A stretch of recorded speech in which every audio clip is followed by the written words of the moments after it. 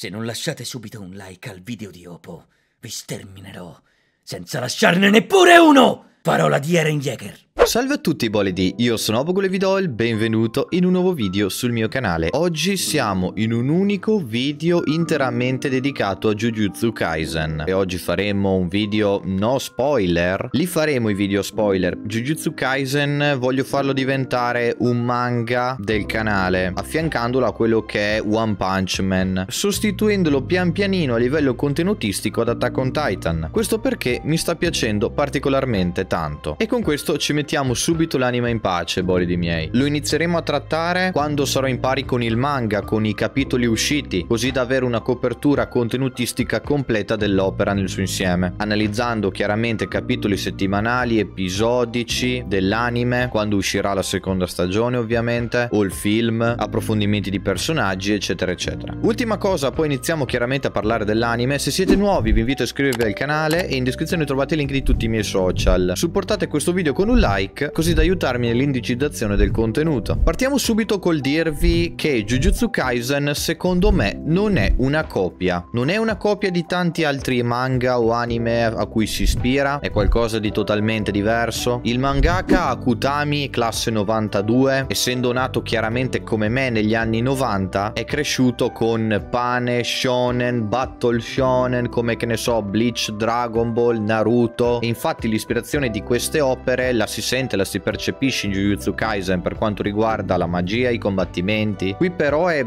diversa la cosa. Anche la costruzione del mondo narrativo e soprattutto dei personaggi. Il mangaka si è sforzato di creare una sua identità produttiva proprio di Jujutsu Kaisen. Io definirei Jujutsu Kaisen come una sorta di fantasia narrativa, una storia nuova creata da un qualcuno che è cresciuto accompagnato da anime e manga del periodo. Un'opera che ha avuto delle influenze se vogliamo, ma che ha mantenuto un suo grado di unicità lo stesso. Jujutsu Kaisen però dà inizialmente poco tempo allo spettatore per abituarsi a quello che sta vedendo per quanto riguarda familiarità di personaggi. Potrebbe sembrare una roba negativa perché subito io ci sono rimasto, ho detto cosa sto, chi è questo, cosa sta facendo, cioè dove siamo. Subito come detto non l'ho apprezzata questa scelta, poi però col proseguimento della storia ho capito il delineamento dei personaggi e le scelte che hanno spinto il mangaka a non spiegarcele subito inizialmente. Ma magari questa è una roba soggettiva mia, magari qualcuno di voi potrebbe già averli capiti subito, anche perché la storia di base non è molto complessa o eccessivamente profonda, anche se mh, inizialmente è così, poi dopo si sviluppa bene. Questa però non è una roba negativa, perché la semplicità di un'opera non è per forza, cioè guardate My Hero Academia o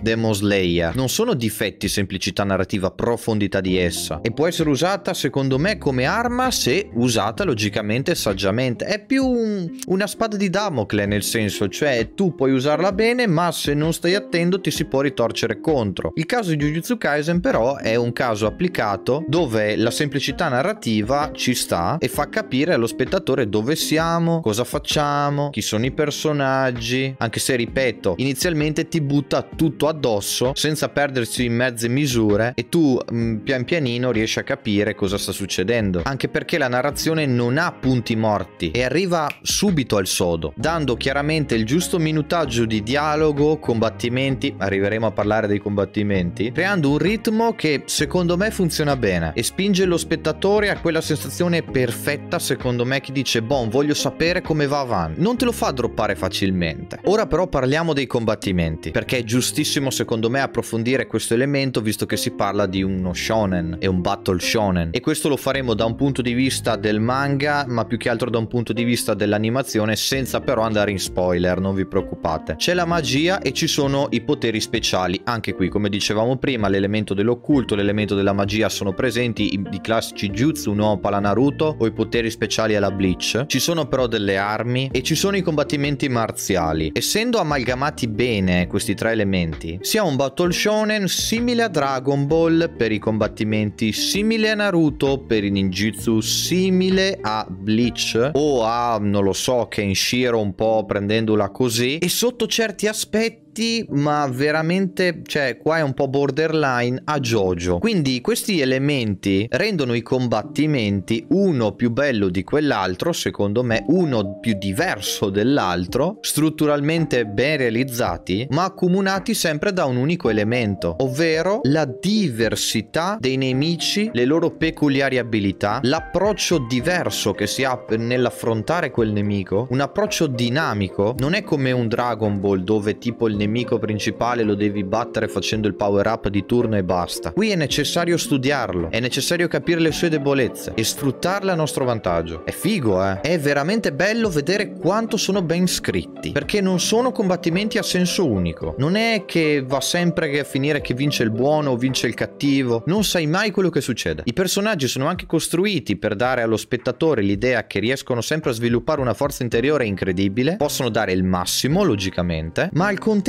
riescono a spiegarti cosa sta succedendo parlandoti della storia, dei loro background che li hanno spinti fino ad arrivare lì, ti danno un'infarinatura della lore del mondo anche durante il combattimento. Per quanto riguarda l'animazione, beh, allora, io come mi sono approcciato a Jujutsu Kaisen, ho letto il manga e poi ho visto l'anime. L'adattamento di Mappa è stato incredibile. Mappa ultimamente sta diventando uno degli studi più importanti degli ultimi anni, dopo gli adattamenti di God of High School, ehm, Attack on Titan, Jujutsu Kaisen, sono opere di un certo peso e la qualità si vede. Per quanto riguarda i poteri, no, le maledizioni, tutti i, i jutsu, no, le arti mistiche occulte, mi hanno ricordato un po' i, i kata di Demon Slayer della UFO Table, con uno stile però diverso adottato da mappa. La CGI qui non è così presente, dando così allo spettatore l'idea di stare a guardare il classico anime in 2D. L'anime è comunque pieno di questi combattimenti, quindi il lavoro qui sarebbe stato tanto lo stesso e quindi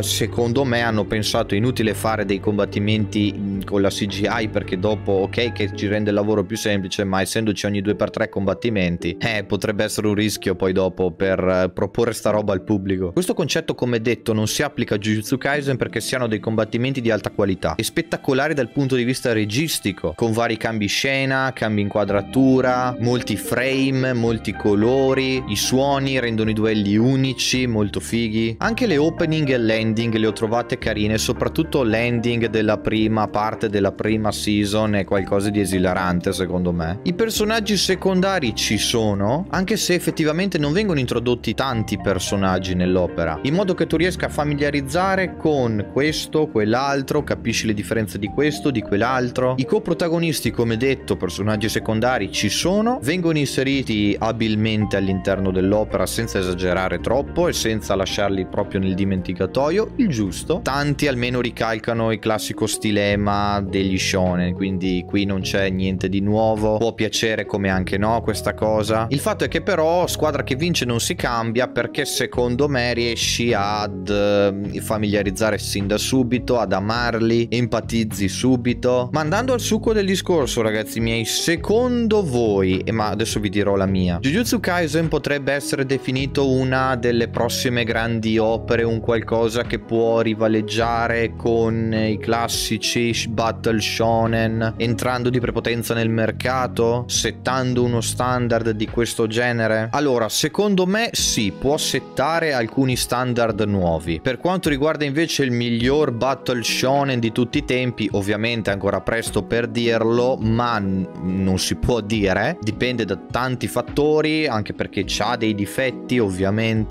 Il primo di tutti secondo me è il gusto, perché a tante persone può non piacere, ad altrettante può piacere, come tutte le varie opere di grande importanza, eh, sia mai. Lo stesso Dragon Ball, lo stesso OT, lo stesso Naruto. Per molti Jujutsu Kaisen risulta il battle shonen perfetto, io per ora preferisco non espormi perché presto, ripeto. Le premesse comunque ci sono per portare un prodotto di ottima qualità. L'anime è fatto bene, l'anime è molto figo. Ha dato un plus al manga del 530%, quindi insomma, se non ci fosse qualità narrativa e di animazione e soprattutto di manga, questo boom non ci sarebbe stato, quindi qualcosa può voler dire. Si dà vita a un prodotto leggero, secondo me, ripeto, stiamo sempre nell'ottica del condizionale, vi dico la mia opinione. Per tutto il video, eh, lo ripeto, per quello continuo a dire secondo me. Come detto, si propone come un'opera leggera, un'opera che però ti fa riflettere sotto certi aspetti, che propone qualcosa di diverso, ma al contempo di familiare, e che che potrebbe piacere. Può cambiare il mercato? Ancora noi non lo sappiamo. Quello che è certo, secondo me, è che sta settando un nuovo standard, ispirata da un retaggio di opere passate che hanno reso possibile il nuovo volto dei Battle Shonen. Questa affermazione per ora è mia. È presto forse per dirlo, solo il tempo per ora potrà confermare o meno questa cosa. E il lavoro chiaramente del mangaka, più lo studio di animazione, eccetera, eccetera. Fatemi sapere qua sotto nei commenti cosa ne pensate ragazzi miei. Per questo video è tutto, spero che vi sia piaciuto. In descrizione come detto trovate i link di tutti i miei social. Se foste nuovi come sempre vi invito a iscrivervi al canale ed attivare la campanellina, soprattutto se questo video vi è piaciuto. Andate a spulciare il canale e scoprirete tantissimi altri contenuti su tantissime altre cose. Noi ci rivediamo, come detto, in un prossimo video o in una prossima live. Ciao a tutti bolidi. Oh. Ehi, ciao ragazzi, grazie per essere arrivati fino alla fine del video. Sapete che qui ne potete trovare altri, vero? Ciao a tutti, bolidi! Alla prossima, dal pelatone più potente che ci sia.